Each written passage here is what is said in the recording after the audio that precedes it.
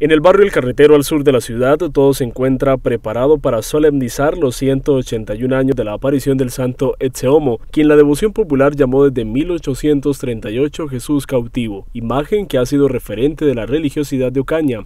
Una programación religiosa durante esta semana con actos culturales se tendrá listo para recibir a propios y visitantes. Todas las noches estaremos celebrando la novena a las 7 de la noche, la Eucaristía y rezamos la novena.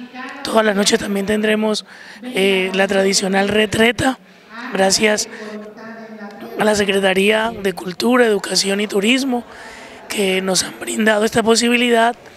Y los días 13, 12 y 13, viernes y sábado, tendremos una programación cultural, musical, para todas las personas que nos acompañen. Y el, y el domingo 14, que es el día de la solemnidad, entonces tendremos la Eucaristía principal a las 10 de la mañana y a las 3 de la tarde la tradicional procesión.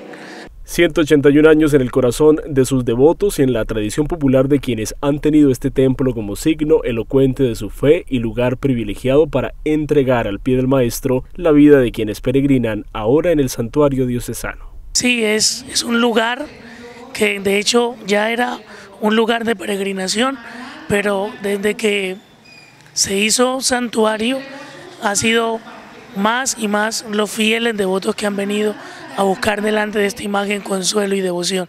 Por eso celebramos 181 años de esta vocación en el corazón de sus devotos.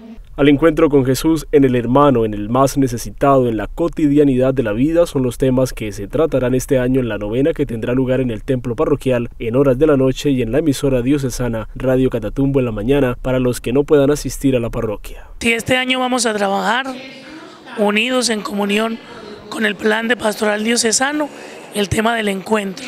Todos los días ese encuentro con el Señor tendrá una realidad específica. Entonces todos tenemos que venir con esa tónica, con esa dinámica de encontrarnos con el Señor a través de esta imagen de Jesús cautivo. Cientos de peregrinos llegarán desde hoy al santuario diocesano de Jesús cautivo para que, como todos los años, poner al pie de su imagen las miles de intenciones que el Jesús de la historia ha concedido en los corazones de los ocañeros y en sus devotos.